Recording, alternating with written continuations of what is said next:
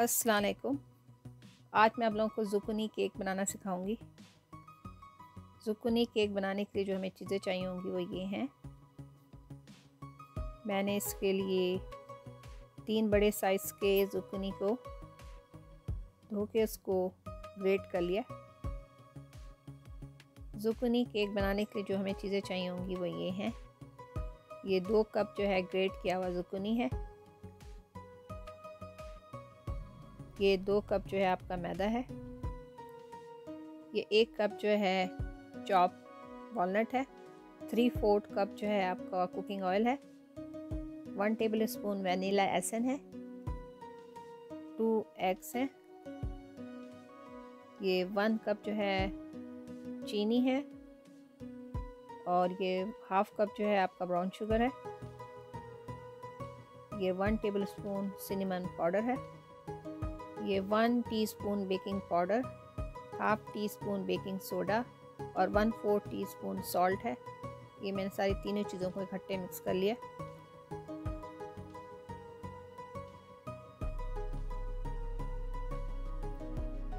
ये one four teaspoon nutmeg powder है।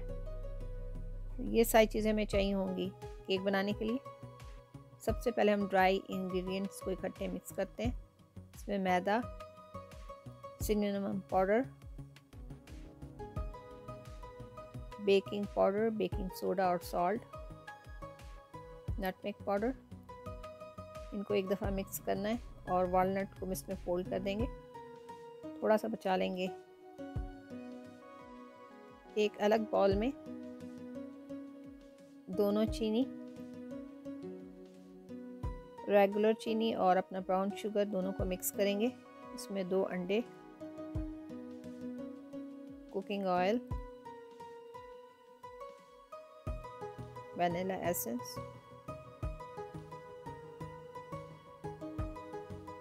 बस इनको डाल के हम मिक्स करेंगे अच्छे से।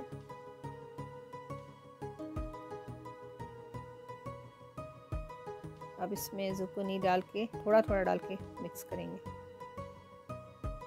इसको फोल्ड करते जाएँगे।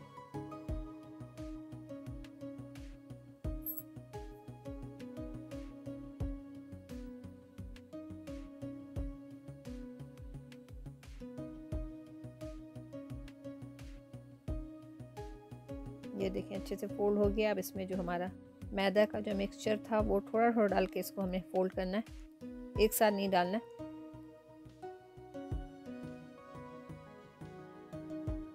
अगर आपको लगे कि आपका मिक्सचर थोड़ा ज़्यादा वाटरी है तो इसमें हम थोड़ा सा मैदा और भी डाल सकते हैं।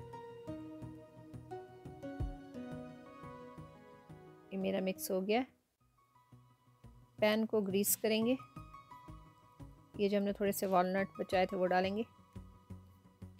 ओवन को मैंने प्री हीट करने रख दिया है थ्री फिफ्टी पे। और ये केक जो है थर्टी फाइव से फोर्टी मिनट बेक होगा।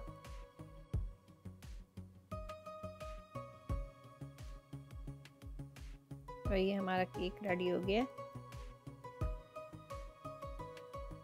उम्मीद करती हूँ आपको आज की रेसिपी अच्छी लगी होगी। आप भी इसे बनाएँ अच्छा लगे। लाइक करें शेयर करें और जो नए मेरे चैनल पे हैं, वो मेरे चैनल को सब्सक्राइब करें। फिर किसी नई डिश के साथ हाज़िर होते हैं। अल्लाह हाफिज़।